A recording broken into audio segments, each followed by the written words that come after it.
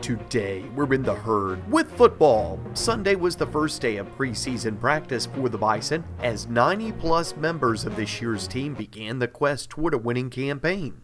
Fourth year senior starting quarterback Brandon Wesley was all smiles after the day's activities. I think it was pretty good. Uh, a lot of guys were out here excited to get back at it, and I think we're, we're, we're a lot further along than we were last year, and I think we're looking pretty good right now.